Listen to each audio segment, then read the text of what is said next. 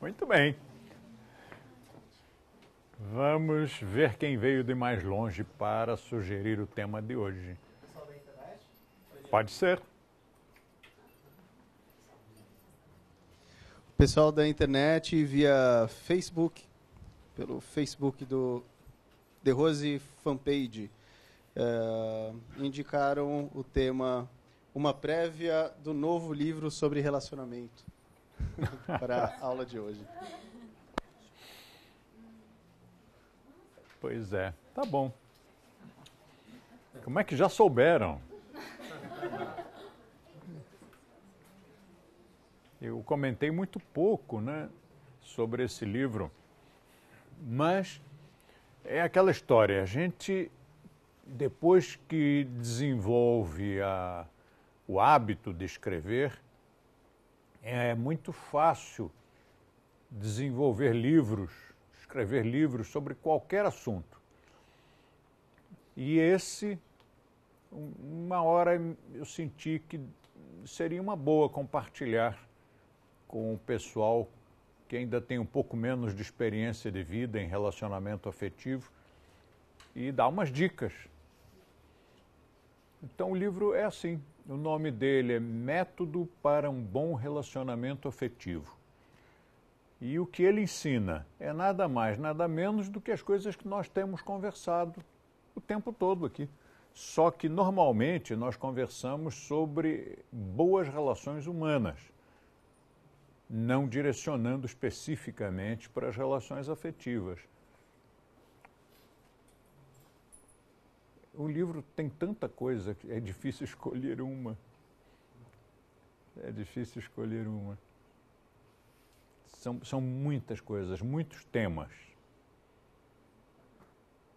Eu acho que eu vou deixar isso um pouco em, em suspenso, viu? O livro está pronto. Ele está passando só por revisões. Eu quero várias revisões diferentes, opinião de várias pessoas, para que não fique faltando nada.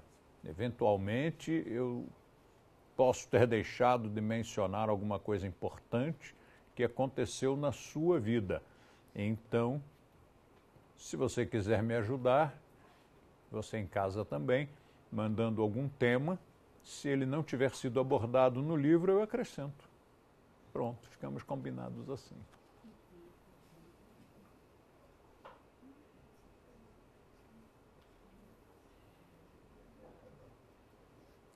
Cambria tem mais algum, alguma solicitação? Um outro assunto levantado aqui via fanpage, facebook.com barra fanpage, uh, a importância da proatividade aliada ao empreendedorismo. Isso é bom. Realmente, esse, esse é um tema bem interessante, porque um empreendedor que não tenha proatividade, ele está agindo como se fosse empregado, não como se fosse um empresário. Hoje nós temos um, um, tipo de empresário, é uma legislação nova, muito interessante, que eh, denomina o indivíduo como micro, microempreendedor individual. individual. Microempreendedor individual. E é uma firma, é uma empresa. Isto, há muito tempo atrás, se chamava eh, firma individual. É uma empresa que é o bloco do eu sozinho, uma empresa que é só um indivíduo que toca. E agora tem essa nova denominação que vem, junto com essa denominação, vem, vem uma legislação muito interessante. E se esse microempreendedor individual não for proativo, ele está agindo como empregado. Nós notamos muito isso aqui na nossa familhona, porque nós desenvolvemos um sistema que, em respeito à pessoa, e eu vou até dizer pessoa humana, embora algumas, alguns linguistas discordem né, e achem que isso é um pleonasmo, mas não é. Porque eu tenho uma pessoa de quatro patas, chamada Jaya. Então, realmente, em respeito à pessoa humana, do profissional que trabalha conosco, nós optamos por não trabalhar com o sistema de patrão empregado. qualquer pessoa, seja de um lado ou do outro lado, reconhece que esse sistema de patrão empregado faz com que todos aqueles que estão do lado de cá, como empregados, perdem a iniciativa e têm a autoestima muito prejudicada. E quando eu era menino, lá pelos meus 19 anos de idade, quando eu saí do serviço militar, o, o meu pai eh, era empregado, era funcionário público. E ele queria para mim a mesma coisa, porque normalmente os pais querem o melhor para os seus filhos. E ele queria que eu tivesse uma carreira segura, põe aspas nisso aí. E eu não me via, eu não me via sendo empregado. E assim como não queria isso para mim, no dia em que a nossa no dia que eu montei a escola e a escola cresceu e precisou de colaboradores, eu não aceitava impor a esses colaboradores o cabresto chamado emprego. Não podiam ser empregados, eu não podia fazê-los passar por aquilo que eu não queria para mim. Então, com o tempo, graças às sugestões de todos os que passaram por nós durante estes cinquenta e poucos anos, nós acabamos desenvolvendo um sistema absolutamente revolucionário em que uma empresa com centenas de instrutores consegue sobreviver sem que haja relação de patrão empregado. Tudo rigorosamente dentro da lei. Há detalhes que eu vou ensinar no livro A Empresa. É um pocket que já foi entregue para a edição, para rodar, já está na mão aqui do nosso companheiro, do Federico, e já vai para a gráfica daqui a pouquinho. E nesse, nesse pocket eu conto todos os detalhes. Aqui não vale a pena esmiuçar muito porque eu quero aproveitar o tempo para outras coisas mas lá eu também desenvolvo, não muito, mas falo um pouco sobre a importância da proatividade. O que é ser proativo ou simplesmente ser pró, como a gente usa de uma forma um pouco assim, meio gíria. Fulano é pró. Todo mundo gosta dele. Oh, fulano é pró. O próprio termo reduzido já sugere que essa pessoa é a favor de algo. Ele tem proatividade, ele é uma pessoa que não precisa ninguém mandar.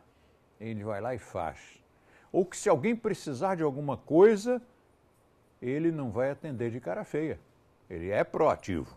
Alguém aqui é voluntário para fazer? Eu sou! Pronto, esse é o proativo. Quem ficou quietinho, calado, é o contrário, é o reativo. Eu não vou fazer isso, não está no meu horário, não está na minha área de atuação. Mas o proativo já se atirou lá na frente, já está derrubando barreiras, já está encontrando como fazer, mesmo que seja alguma coisa considerada impossível. E talvez vocês conheçam a frase que diz: quem declara que é impossível tem que sair da frente e deixar passar aqueles que estão fazendo. Porque impossível é só uma palavra. Nós conseguimos, nós todos, quando eu digo nós, não é o nós majestático, não, é o nós mesmo, nós todos aqui conseguimos realizar coisas que todo mundo dizia que eram impossíveis. Muitas, mas muitas coisas, não foi pouca coisa, não. Portanto, impossível é só um paradigma na cabeça daqueles que não sabem como fazer. Se não sabe, é impossível. Aí chega alguém e faz. E uma das coisas que nós fizemos foi desenvolver a proatividade. Logo que o pessoal começa a trabalhar, quem nunca trabalhou antes, quando eu tenho oportunidade, eu cutuco. Porque vindo diretamente de casa para cá, ele veio diretamente do status de filho e de estudante para o de profissional. E muitas vezes ele leva um tempo para perceber que agora caiu na vida real. Né? Que agora não tem ninguém sustentando, não tem ninguém dando uma mesada, não tem ninguém dando casa, comida e roupa lavada, e que agora é com ele. Agora o desafio está nas suas mãos. E é preciso que ele realize e produza. Caso não faça, não vai cair do céu. Às vezes dá certo, outras vezes não dá. E quando não dá certo, eu recomendo, meu querido, pare de trabalhar na nossa área porque você não foi feito para trabalhar com liberdade, para ser empresário, para ser empreendedor. Vá ser empregado por uns meses. E aí você vai ver como é realmente esse mercado aí fora como ele é selvagem, como ele é humilhante. Mas quando a pessoa veio desse mercado e entra na nossa profissão, ela beija o chão em que pisa. Porque realmente é outro ambiente, são outras pessoas, é outra proposta, são outras possibilidades, é outro potencial. Quando eu comecei, tinha muita gente aqui na frente, mas o que foi acontecendo? Erosão? Então vamos todos dar um passinho à frente. Se fosse ônibus, eu dava uma freada e resolvia isso.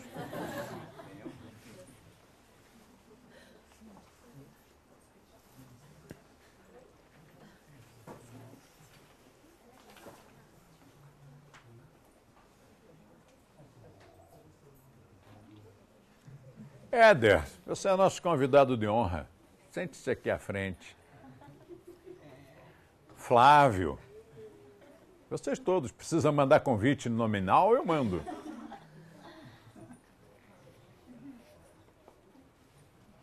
Por que, que o Éder é nosso convidado de honra? Porque ele é instrutor em Porto Alegre, está nos visitando e o Éder me deu uma das grandes alegrias da minha vida quando ele me disse que comprou uma casa com o dinheirinho da nossa profissão. Toda vez que um instrutor me diz que comprou um imóvel, eu fico mais feliz do que ele. Não sei se o Éder quer contar uma história aí pra gente. Se quiser, dá o um microfone aí para ele dizer duas palavrinhas.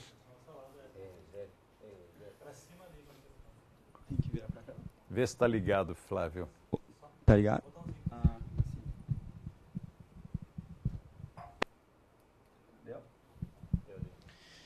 Bom, uh, comecei a dar aula em 2008, né? Eu me formei como instrutor do método e no primeiro ano eu morava ainda com a minha mãe e depois eu falei, bom, tem que sair de casa primeiro. E aí fui morar de aluguel e só que quando eu paguei, acho o primeiro mês de aluguel, eu falei, nossa, esse dinheiro aqui não pode ficar. e aí eu comecei a pensar, não, tem que comprar uma casa perto da escola e tal. E eu acho o fato de ter começado a focar nisso desde o início e não querer morar de aluguel fez com que muitas coisas uh, convergissem para que eu comprasse o loft lá em Porto Alegre, que é bem pertinho da escola. E aí, tipo, quando eu decidi que ia comprar mesmo, muitas coisas começaram a acontecer para que eu conseguisse comprar. E para quem conhece um pouco da minha história, era bem difícil assim, mas no final, acho que em três anos de profissão, aí em 2011, eu já estava vendo a casa e tal, e aí em 2011, eu acho que no início de 2011, deixa eu lembrar, isso. Aí eu já comprei a casa. Aí comecei a morar o ano passado. E tipo, muito feliz, assim, até eu contei para o mestre esses dias que quando eu, a casa ficou pronta, eu entrei lá, foi uma alegria inacreditável, assim, foi imensa. Você até chorou. e, tipo, espero que uh, muito mais que comprar casa para mim, que eu possa servir de exemplo para muitos instrutores, porque além de ser uma emoção muito grande, é um, assim, é só você comprando mesmo para você ver como é bacana. E uma das coisas mais legais é que em quatro meses que a casa ficou pronta, ela já valorizou 130%. Oh, beleza, hein? Muito louco. Muito legal. E isso por enquanto. É. Vai, vai aumentar mais, vai valorizar mais. E eu vi a planta da casa, e é, é, um, é um imóvel precioso. E depois também numa região excelente de Porto Alegre. E tudo isso, o que, que nos mostra? Que quando a pessoa quer, faz. O próprio Charles havia comprado uma casa, o, o Cambria havia comprado um apartamento, né? e, o, e, muitos outros. Se nós formos agora fazer a lista do, do, nosso pessoal que já comprou imóveis, essa lista não, não, não é pequena. Mas o que eu sinto é que quando a pessoa não compra o seu próprio imóvel, é porque ela está sendo reativa, não proativa. Ela está sendo reativa porque ela reage contra, ela reage à sugestão, à recomendação de comprar o seu imóvel, seja para residência, seja para, para a sua empresa. Especialmente aqui em São Paulo, existe uma cultura de não comprar, uma cultura de alugar. Noutros estados, é mais por uma questão de, de complexo de inferioridade. Eu percebo isso em alguns estados do Brasil, em que as pessoas reagem com uma certa perplexidade, como se elas dissessem: Mas quem sou eu para comprar um imóvel? Eu não mereço. Como assim comprar? Minha mãe não comprou, meu pai não comprou, meu tio não comprou, meus amigos todos não compraram. Quem sou eu? Como, como assim? E em São Paulo é um pouquinho diferente. Em São Paulo é: não, não vou comprar, não vou imobilizar o capital num imóvel quando eu posso usar esse capital como capital de giro, o que é uma grande besteira. Muitos colegas nossos daqui de São Paulo, e eu disse muitos, eu não disse alguns, é, colegas assim da, da, da não que sejam instrutores, Alguns até eram instrutores, mas outros amigos, alunos, mas que estavam, de certa forma, é, vivendo, vivenciando o método. Preferiram alugar. E quando aconteceu aquele, aquele choque econômico que nós tivemos há alguns anos, todos faliram. Não tinham nada. E um colega, esse não, não vou me esquecer dele, colega muito querido, inclusive. Ele alugou a primeira casa, alugou a segunda, alugou a terceira. No final havia alugado cinco casas no mesmo bairro. E ele me levava a cada uma com muito orgulho para me mostrar, dizer, olha, estamos crescendo. E eu disse, olha, isto que você está fazendo é muito arriscado, não é aconselhável. Em vez de alugar cinco casas, compre uma. Mas, mais uma vez, eu tive que escutar aquele estribilho.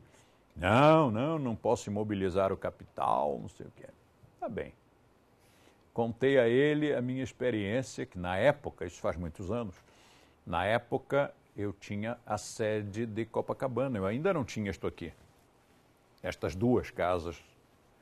Naquela época eu dava, a minha escola estava situada numa salinha lá no Rio, que hoje é sede histórica, minúscula, mas continua lá. E eu contei a ele fazendo uma comparação. Ele disse: Você aqui tem uma porção de casas. Casas, não salinhas, casas. Isto é como a vegetação à beira do mar, a vegetação de praia. Você olha, está aquilo tudo verdinho, assim, mas não tem raízes. E quando vem a tempestade, arrasta tudo para o mar. Eu só tenho uma salinha, mas aquela salinha é própria, então ela está enraizada. Na época, é, nós éramos muito naturebas né, naquela época, 30 anos atrás e usava-se muito bardana, raiz da bardana. Todo natureba comia bardana. E aí eu usei isso como exemplo. A nossa sala é deste tamaninho, mas é como a raiz da bardana, que penetra dois metros chão adentro. Nenhuma tempestade arrasta. Ele não acreditou. Passou-se um tempinho e veio o plano cruzado. Arrastou tudo para o mar. Aquelas cinco casas viraram fumaça. A minha salinha continuou lá no mesmo lugar. E depois, claro, deu frutos, cresceu e hoje nós temos tudo isso. Mas o que é que nós precisamos no caso, nesse caso específico que, que, que eu usei como exemplo, que é a compra do imóvel? A proatividade. Né? Se pessoas com mais experiência estão recomendando compre. Se você não tem casa própria, compre a sua casa própria. Se já tem, e tem uma escola ou tem um negócio, compre o imóvel da sua escola ou do seu negócio. E nós vemos que é possível, já que tantos colegas nossos compraram. E o, o Éder não é diretor da escola, o Éder é membro de equipe. Trabalhando há quantos anos? Quando eu comprei a casa, era três anos. Três anos de trabalho, quando comprou a casa. Então, quem não compra é porque não quer. Além do mais, aqui no Brasil, hoje é muito fácil comprar imóvel, mas é muito fácil. Eu vivi uma época em que era difícil. Realmente era difícil. Hoje não é. Hoje não é. Hoje só não compra quem não quer.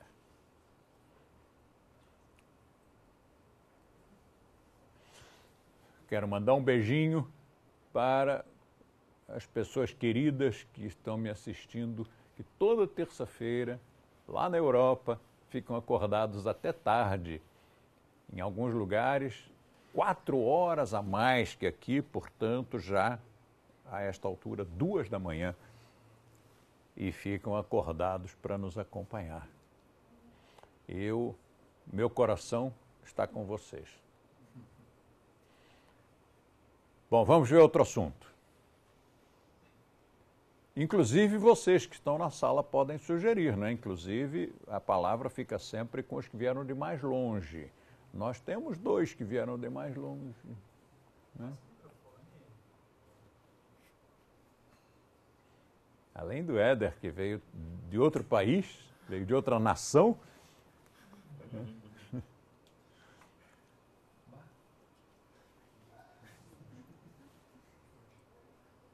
Temos o ruivo, que veio de Portugal, mas já, já é material importado, já, já está incorporado aqui à, à nossa casa.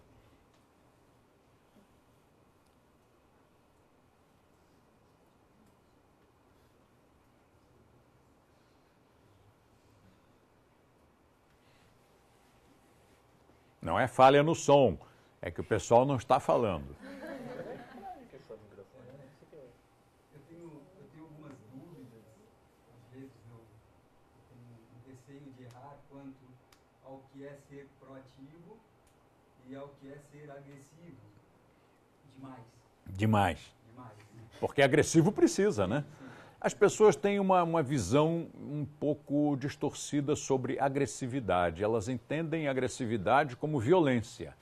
A agressividade é uma qualidade, não é um defeito.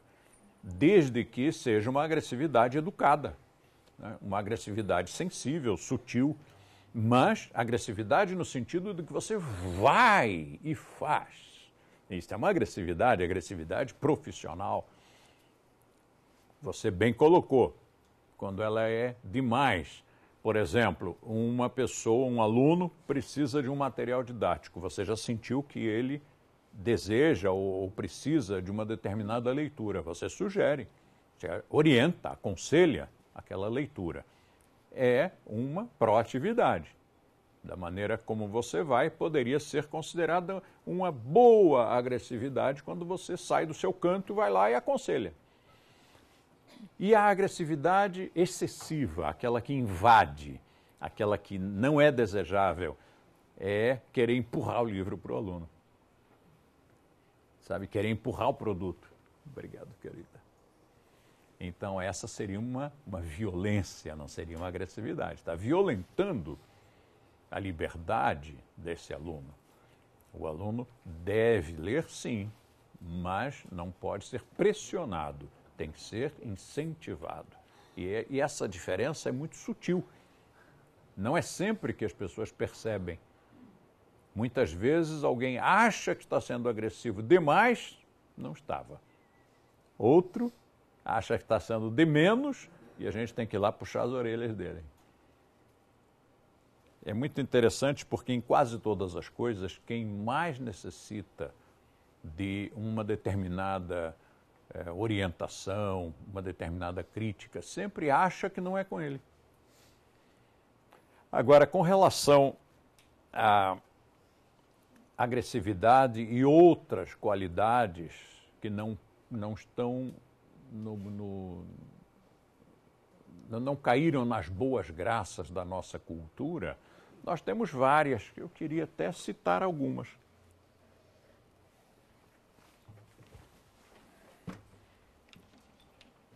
Algum tempo atrás, nós citamos algumas delas. Então, nós tínhamos o amor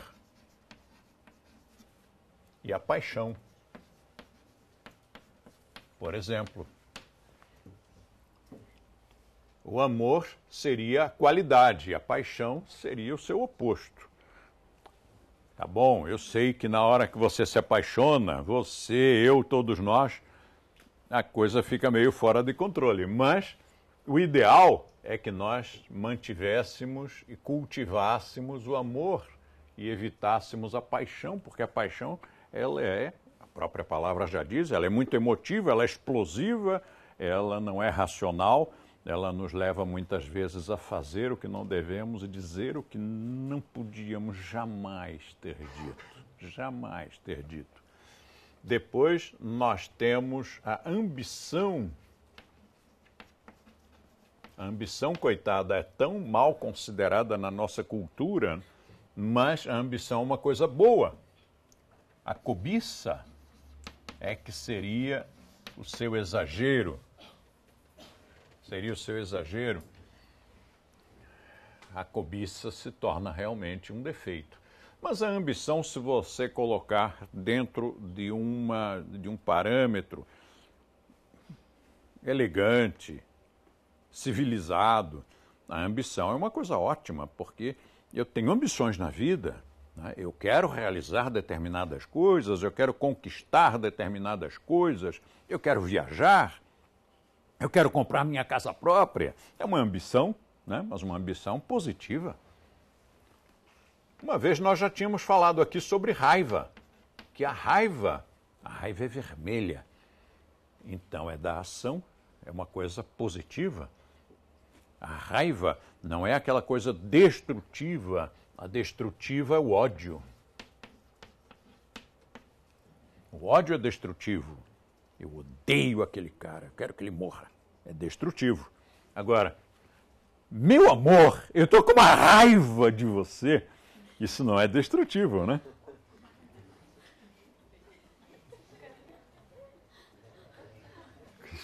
Por que vocês estão rindo por acaso? Vocês sentiram isso alguma vez?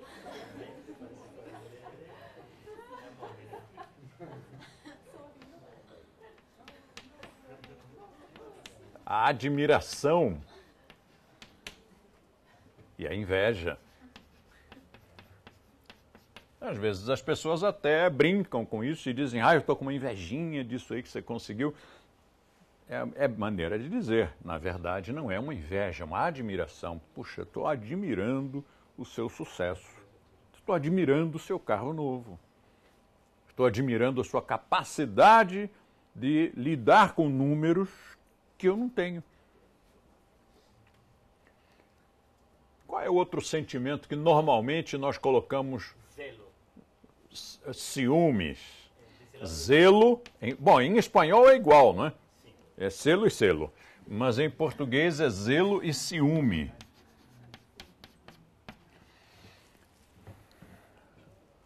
Zelo quando você cuida. Você está zelando por algo. Você tem zelo pelo, pelas suas ferramentas, pelo seu carro e até por uma pessoa. Você tem zelo. Estou zelando pela minha filha, pelo meu filho. E o ciúme é, já é doentio, já é aquela coisa. Não pode se aproximar, não pode tocar no que é meu. Qual é a outra? Precaução e medo. Precaução e medo. Muitas vezes as pessoas usam, ah, eu estou com medo que não dê certo.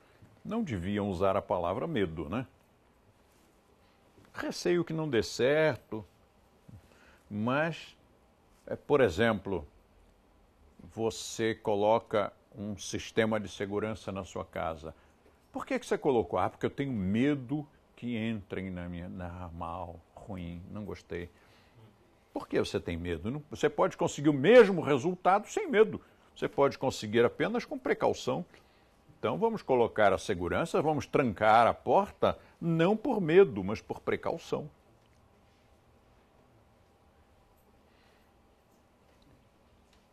Eu conheci uma pessoa que tinha medo de atravessar a rua.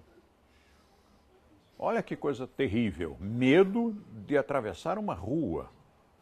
Tinha mesmo. Era uma, uma moça, uma menina que veio de Macapá. E aqui em São Paulo ela viu uma rua imensa, enorme, cheia de trânsito, que era a Rua Augusta. E ficou apavorada e não conseguia atravessar aquela rua. Já eu que vim do Rio de Janeiro, olhei a Rua Augusta e disse: É essa caca? É isso aí, essa rua fininha, pequenininha desse jeito, cheia de casinhola. Achei decepcionado. E com mão dupla. Eu fiquei decepcionado com a Rua Augusta. Mas precaução ao atravessar a rua, sim. Medo, não. Outra, quem está muito afiado é o Federico. Mas depois, se, se você puder falar um pouquinho, esse, esse texto aí vem de outro texto que é o Ego e o Dakshina Charatântrica, se eu não me engano. Exatamente. Era, era bom, esse, esse, aquele texto é muito, muito legal, se você está lembrado aí. do- É, o, o texto do, do o Ego e o Dakshinachara Tântrica é um, um texto que foi feito por encomenda a pedido do Joris Marengo, o Jojó. Ele disse que naquela época, na escola dele, as pessoas estavam um pouco confusas com isso, porque a literatura de filosofia hindu e filosofias indianas falava sempre, falava, toda essa literatura falava sempre sobre eliminar o ego. E que nós não falávamos isso, e que então que eu esclarecesse um pouco as pessoas que elas tinham dúvidas. Então eu escrevi aquele texto para o Jojó, o texto realmente ficou bom e acabou caindo dentro de um livro meu que eu não me lembro que livro era. Né? É Origens, Origens do Yoga Antigo. E a questão do, do ego eu mencionei aqui, talvez semana passada tenha mencionado, foi, não faz muito tempo que eu comparei o cão, o cavalo, o cavalo pangaré e, o, e um andaluz inteiro, acho que foi semana passada. Então eu não vou voltar ao assunto já para não me repetir, ou pelo menos não me repetir tão cedo. E ali, naquele capítulo, havia duas colunas com a, essas boas qualidades e as más qualidades, as qualidades que não nos convêm. Ah, agressividade e violência não era um? Sim, era uma, aliás, foi a que deu origem. A agressividade. As pessoas entendem que a agressividade é você sair batendo nos outros. Não é isso. Isso é violência. A violência bem educada é agressividade. Agressividade mal educada é violência. E por aí, uma porção de outras. Elas estão em um outro livrinho nosso, nesse que nós eh, começamos a conversar hoje, que é o Método para um Bom Relacionamento Afetivo. Este quadro é repetido lá porque é interessante, já que a nossa cultura judaico-cristã ela coloca algumas dessas coisas, como por exemplo a ambição, como uma coisa ruim.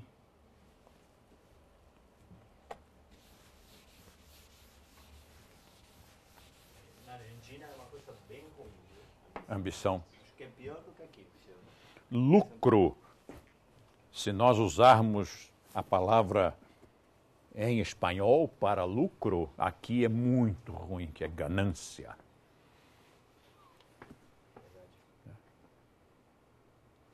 Nós podíamos até pensar em colocar ali a ganância do, daquele lado e o lucro destes. Quer dizer, temos aqui mais essa possibilidade.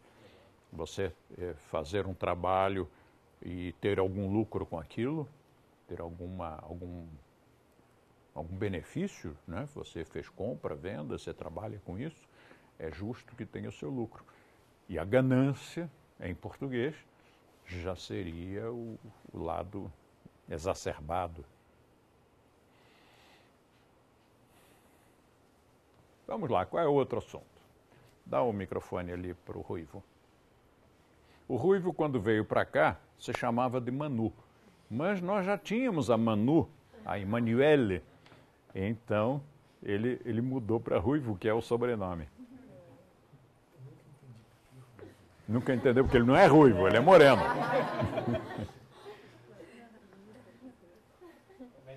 queria fazer uma pergunta, ainda relativamente àquilo que falou agora. Existiria a hipótese de, por exemplo, num dos lados, colocar receptividade e do outro lado, não diria bem humildade, mas uh, quando a pessoa se rebaixa um pouco. Porque há a diferença entre ser receptivo e Sim, ser... olha, você me deu uma grande ideia. Subserviência. Você falou qual? Subserviente. Subserviência, exatamente. Era a mesma que eu ia citar. Não, não, estamos, estamos assim, ó, identificados. Pensamos a mesma coisa. Subserviência e humildade. Humildade seria o positivo, a subserviência seria o exagero dessa humildade que é muito comum aqui para nós, né? Os brasileiros têm muita essa coisa da subserviência, que é uma humildade negativa. A humildade positiva é, é gostosa, né? Você tendo uma boa autoestima, você ser humilde, é bonito. Você vê um cara que tem poder ser humilde, um cara que tem dinheiro ser humilde, é bacana.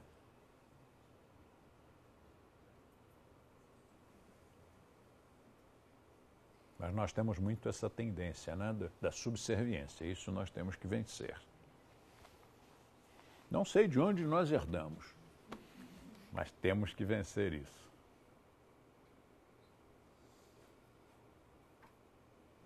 Mais do que, do que em outros países da mesma América Latina. Oh, Latina. Mais do que outros países. Está aqui o, o Federico, que não me deixa mentir, que os argentinos têm uma autoestima respeitável. E passaram pelas mesmas coisas que nós. Se nós fôssemos alegar que fomos colônia e que depois vivemos sob ditaduras, a Argentina também. É a mesma coisa.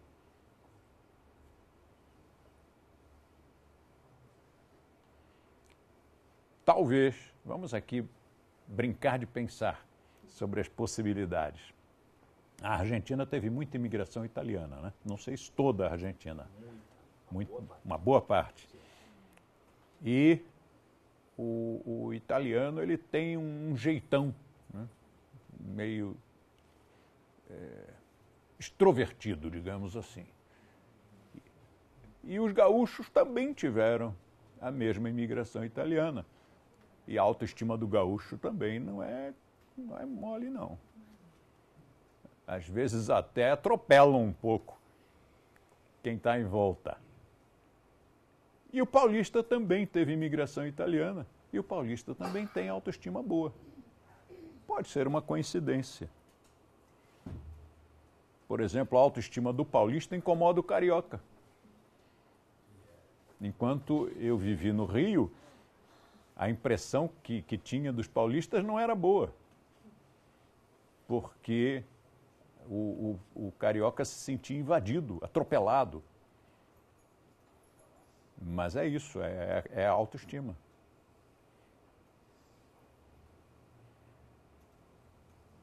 Você acha, mestre, que às vezes a autoestima pudesse em algum momento ser confundido com arrogância? Boa. Temos que anotar isso.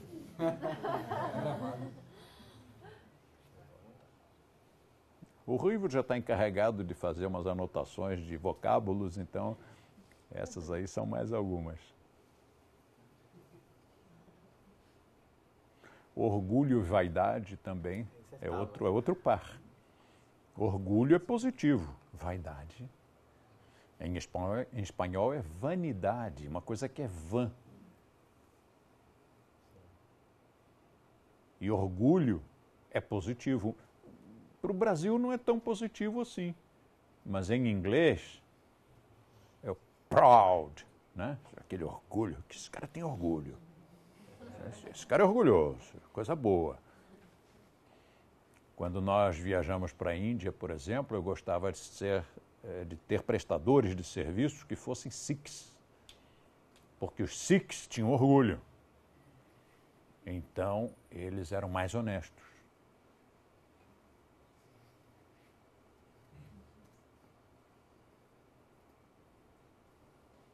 Todos aqui conhecem a história dos Sikhs?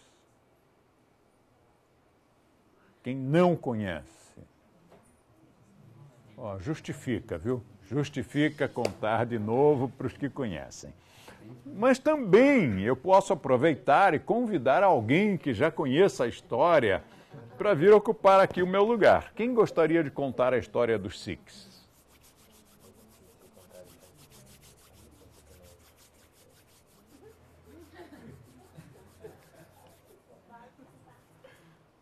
É sempre bom que outra pessoa fale. senão sempre a mesma pessoa, usando as mesmas palavras para contar a mesma história, parece disco velho. Sabe quando os discos usavam agulha? Aí de você tanto usar o disco gastava a, trilha. E aí você colocava agulha e ela fazia assim, hum, e não saía som algum. Como mãe que chama a atenção do filho, sempre usando as mesmas palavras, o filho não ouve mais. Quem quer se arriscar? Quem sugeriu, né? Então vem cá, Flávio.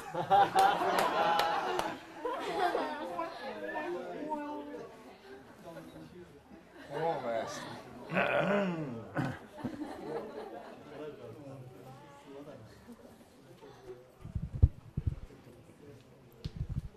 Obrigado, Rô.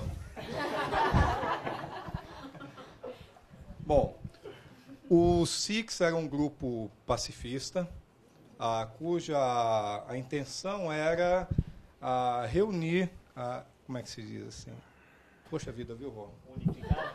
Unificar. A, unificar diversas tendências, enfim, aquelas coisas de ah, vamos juntar todas as egrégoras e etc. Se errar, você me pode corrigir, tá, mestre? então, assim, era um grupo pacifista que queria unir todo mundo em prol desse mesmo ideal. Ah, e, obviamente, que isso não, não deu certo. Esse grupo passou a ser perseguido por todos que eles queriam unir. Tá? Ou seja, queriam pegar egrégoras diferentes, unir, e essas próprias egrégoras passaram a atacá-los. Muito bom. Muito bom. Agora eu vou continuar. É, Estava me empolgando. Obrigado, mestre. Esse eu não preciso.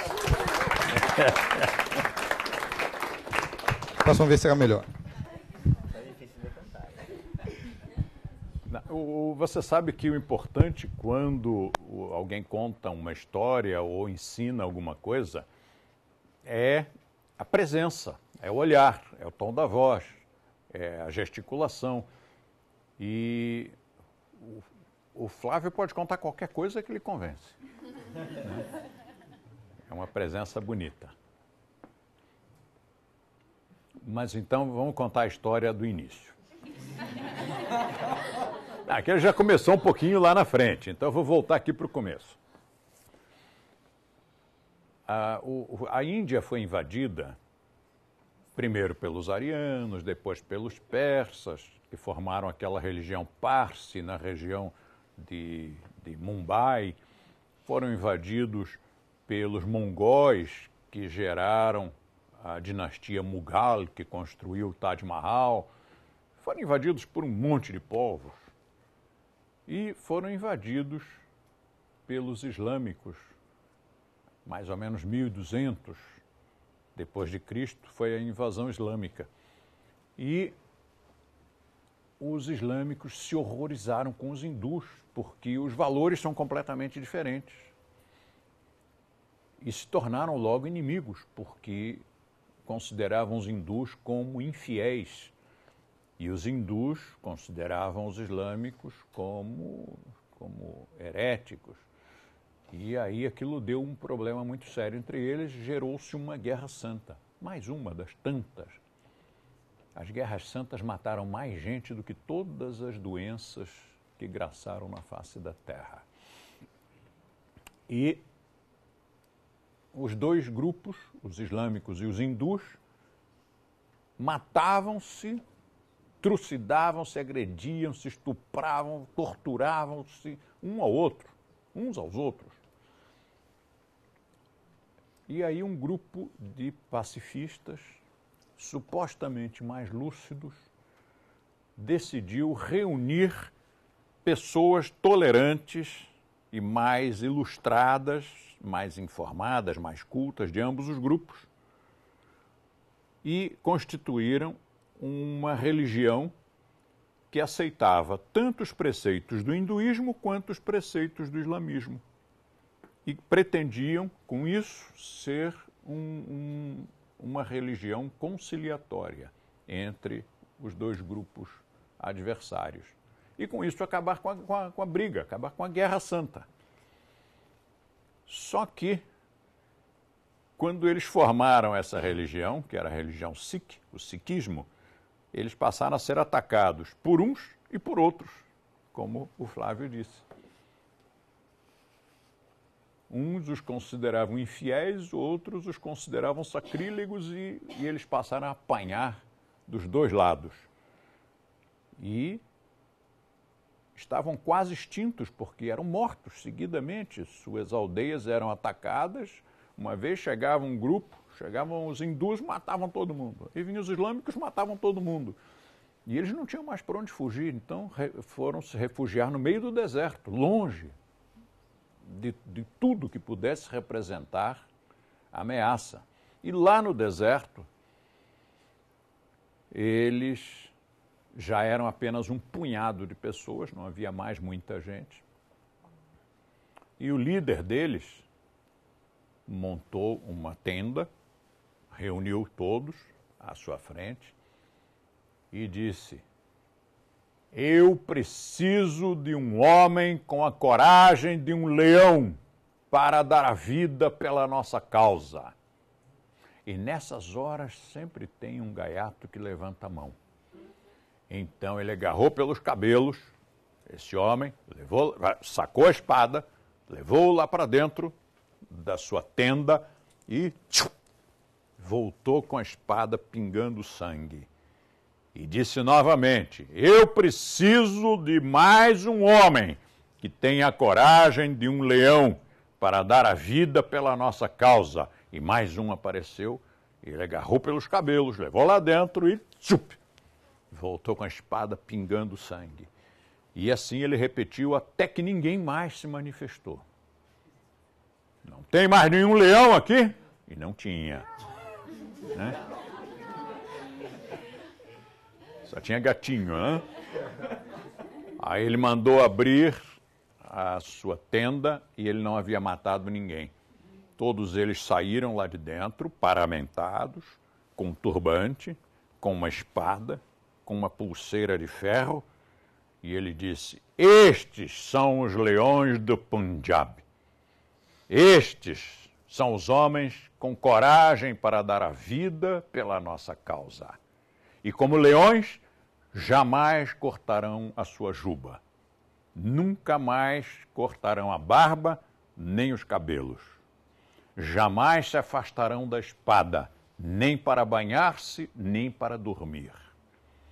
E com isso ele constituiu um grupo de elite, de guerreiros de elite, e esses guerreiros venceram todas as batalhas e hoje eles são tão conhecidos e tão respeitados que a figura que você considera que são os hindus não são os hindus, são os sikhs. Faça a imagem de um hindu, um homem de barba comprida, com um turbante na cabeça. Este é um sikh. O hindu, via, por via de regra, não usa barba E a maioria não usa turbante. Às vezes, no interior, enrolam lá um, uma coisa na cabeça para carregar algo ou para tomar sol, mas normalmente não. Normalmente, por exemplo, nas grandes cidades, grande cidade na Índia é como uma grande cidade no Brasil. São Paulo tem 20 milhões de habitantes, na Índia também, uma grande cidade tem em torno disso. E nas grandes cidades ninguém usa turbante, nem barba, a não ser os Sikhs. Os Sikhs não cortam cabelo, barba e colocam o turbante, aquilo que você pensa que é, que é tecido, não é tecido, é cabelo. O tecido é um voal que é passado em volta, que é para proteger o cabelo, porque às vezes um inseto pode saltar e o tecido protege para que não pegue, não pegue é, nenhuma, nenhuma pragazinha, né? Agora você imagina o exército, as forças armadas da Índia respeitam tanto a força dos Sikhs, a belicosidade dos Sikhs, que eles servem as Forças Armadas sem tirar a barba e sem colocar o cap ou o bibico. Eles usam o turbante da cor daquela, daquele uniforme. Se é exército, uniforme é verde-oliva, eles usam turbante verde-oliva, mas não botam cap. E tem autorização para isso. Hoje, os Sikhs representam, quer dizer, hoje, não, da última vez que eu li essa, essa estatística, representavam 6% da população da Índia e ocupavam 35% dos efetivos militares. Você imagina que quase todo mundo vira militar. Espada e avião, né? Quando o Sikh viaja, hoje eles, em geral, o Sikh que mora em Nova Delhi já não carrega espada, ele carrega uma adaga aqui dentro da roupa. Então, quando eles viajam de avião, seja os do Punjab, que usam espada mesmo, ou os de Delhi, que usam uma faca comprida, eles entregam ao comandante e quando descem do aparelho, do avião, o comandante devolve a espada ou a adaga. Mas um dia eu estava num aeroporto na Índia e vi um casal de Sikhs que me chamou a atenção. Pareciam príncipes. Para começar, ele e ela estavam de branco, coisa que tudo de branco, a roupa toda branca, com turbante branco, tudo branco, não é comum. E os dois, aquilo chamava a atenção. E bonitos, uma espada bonita, roupa bonita, tudo bonito. Eu olhei aquilo e disse, meu Deus, mas os que são mesmo incríveis. Aí olhei melhor, eles tinham olhos azuis. Olhei melhor, eles eram loiros. Eram estadunidenses, brincando de Sikhs. Puseram a fantasia e foram passear na Índia. Se perguntasse, talvez eles dissessem, não, mas nós somos Sikhs dos Estados Unidos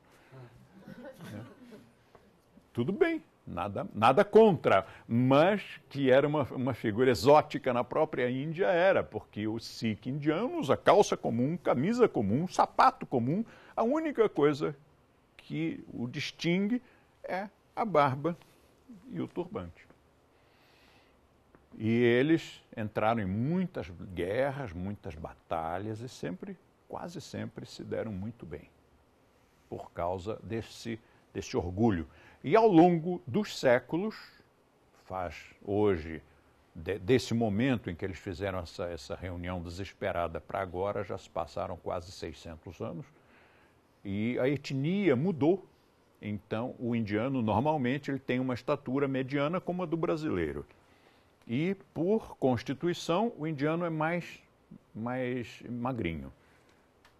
Os Sikhs desenvolveram, por ser guerreiros, eles desenvolveram uma etnia diferenciada. Eles são mais altos e são mais fortes.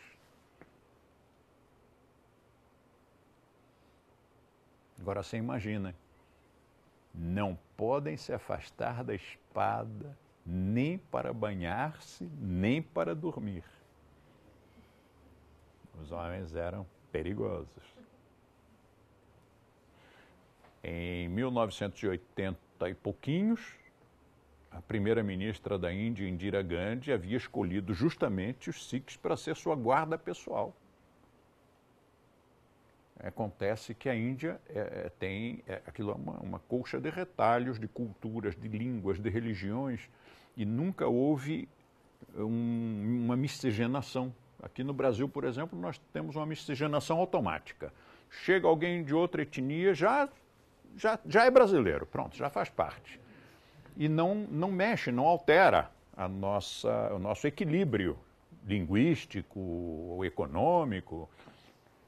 Mas, como na Índia, durante todos esses séculos, as etnias e as religiões e as línguas se mantiveram separadas, de vez em quando dá uma situação, ocorre uma situação meio perigosa.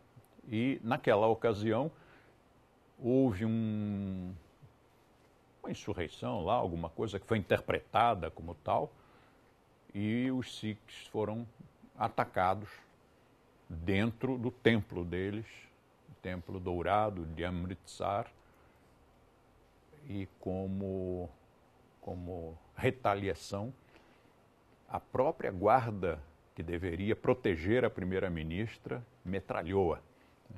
Indira Gandhi foi, foi assassinada pela sua guarda, porque ela era hindu e eles eram sikhs. No momento em que essas duas etnias entraram em conflito,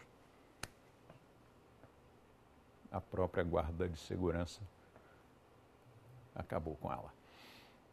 Então são, são situações que nós aqui, para nós é tudo muito estranho isso, né? Porque apesar das tantas, dos tantos dialetos que nós temos no Brasil, nós falamos a mesma língua. Escrita, ela é igual. Falada às vezes é incompreensível, mas escrita é igual de norte a sul. As etnias se combinam, formam várias subdivisões e, e nós estamos constantemente modificando essas etnias. E é provável que num futuro não muito distante nós tenhamos já uma miscigenação que produza a raça dourada, o que já está começando a acontecer quando nós combinamos o branco, o negro, o índio e o oriental e depois vamos para a praia lagartear sob o sol. Então ficamos dourados, né? Já temos mais é, pigmentos mesmo, ficamos douradinhos. E há uma, uma, uma profecia que diz que vai surgir uma raça, uma nova raça raiz, uma raça dourada. Pronto, já está surgindo.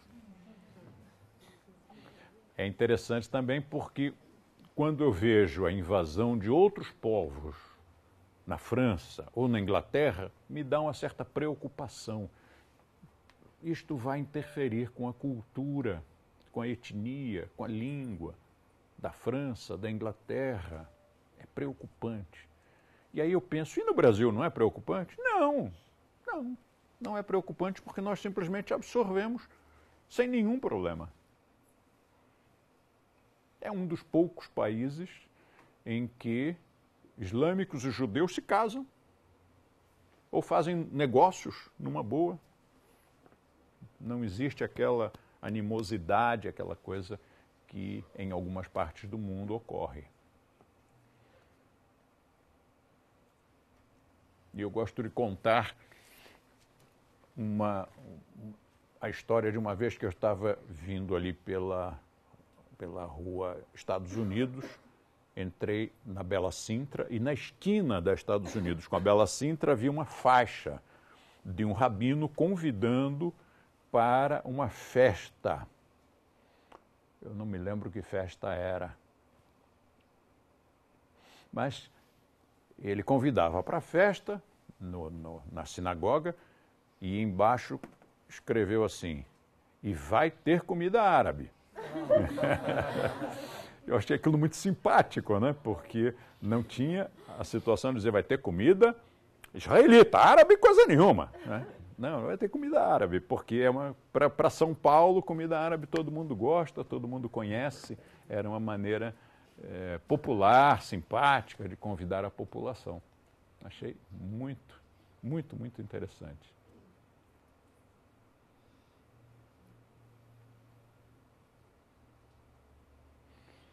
É isso, essa é a história dos Sikhs.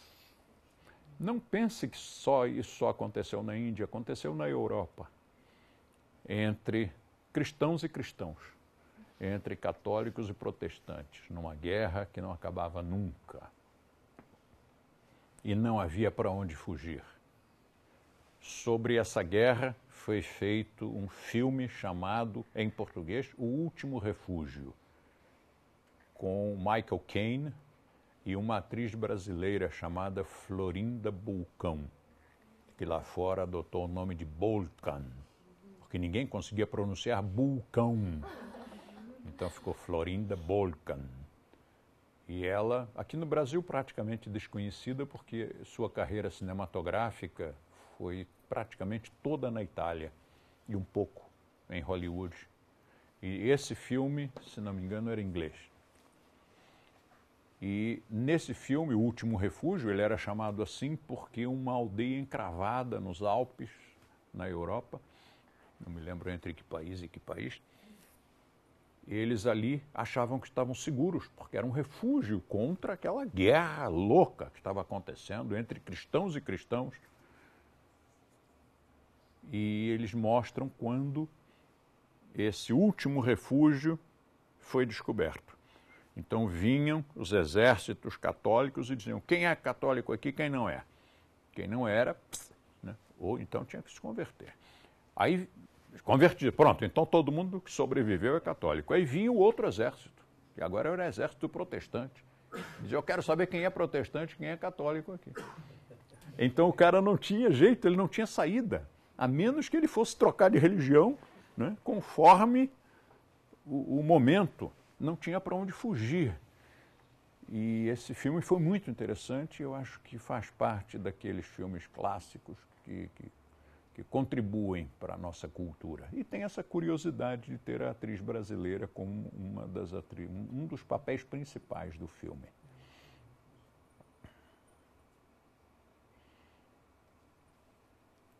É interessante porque nós temos a guerra, as, as cruzadas, né? que são os cristãos contra muçulmanos, mas depois nós temos os sunitas contra xiitas, nós temos católicos e protestantes. Nós temos, em qualquer lugar que você vá pensar, o ser humano está brigando com outro ser humano por qualquer razão. Mas fica mais grave quando essa razão é religiosa, quando se baseia, quando o pretexto é Deus vou torturá-lo, matá-lo de forma atroz, sofrendo muito, mas é para o seu bem, meu filho. É para que você vá para o céu.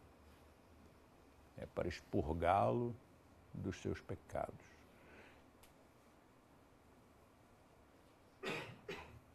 Isto não é uma crítica às religiões, isto é uma crítica ao ser humano. É uma autocrítica, é uma crítica a todos nós.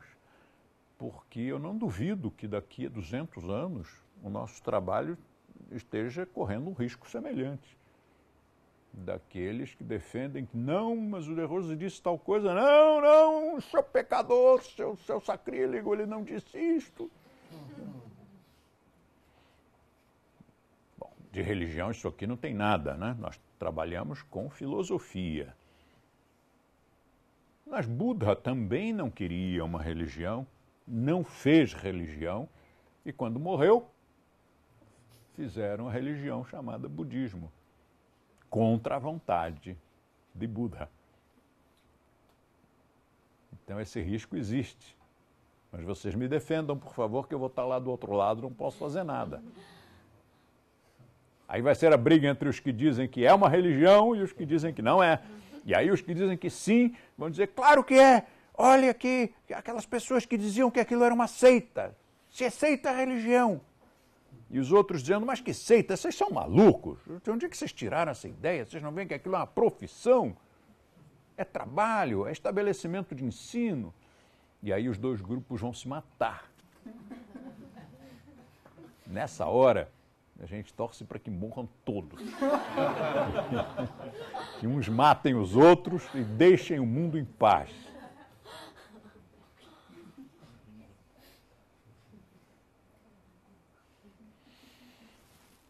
Gente, Ah, pois está gostoso, né? Mas daqui a pouquinho nós já vamos terminar.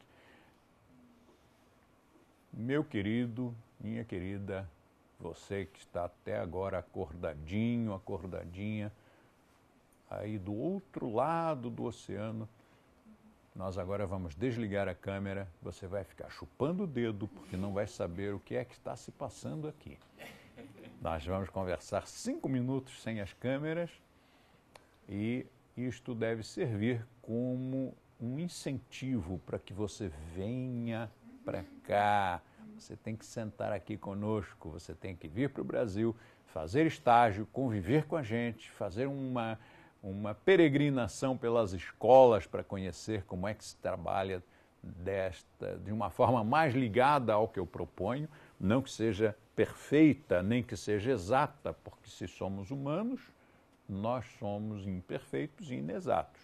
Além do mais, nós temos essa filosofia de liberdade, de que cada um tem a liberdade de interpretar e, e professar da maneira que achar mais correto, dentro, obviamente, da orientação, né, dos, dos grandes trilhos. Mas cada um põe nesses trilhos as locomotivas e os vagões que achar por bem. Por isso, cada escola tem o seu colorido, tem o seu jeito de trabalhar. E está tudo funcionando muito bem, graças a Deus, e vai continuar assim. Mas, estando mais perto daqui da sede central, a probabilidade, a tendência é que as escolas trabalhem de uma forma mais dentro das diretrizes. À medida que as escolas vão ficando distantes, até por fatores emocionais, as, as, escolas, os instrutores, os alunos, os amigos, os leitores, os simpatizantes, por estar mais longe, eventualmente se sentem meio que abandonados, se sentem meio que desligados dos vínculos, esses mais próximos, mais fortes. Então, visite.